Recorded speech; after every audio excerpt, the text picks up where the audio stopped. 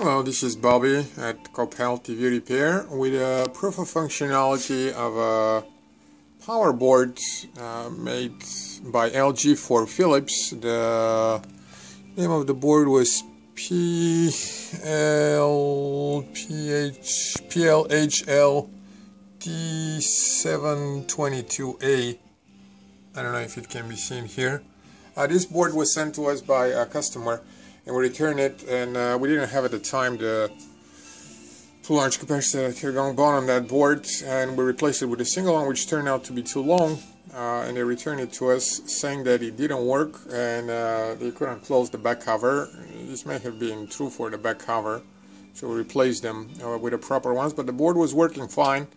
Nothing else was uh, done on that board ever since it was returned. I'm just making a video showing that it does work properly. I'm turning on the TV, uh, you will see how the backlight comes over the holes of the panel and uh, is the panel itself coming up. Uh, it's been working for solid 30 minutes uh, when we tested after we repaired it the first time it came. Uh, this time we'll just send it back as it is. Uh, nothing else needs to be done. Thank you.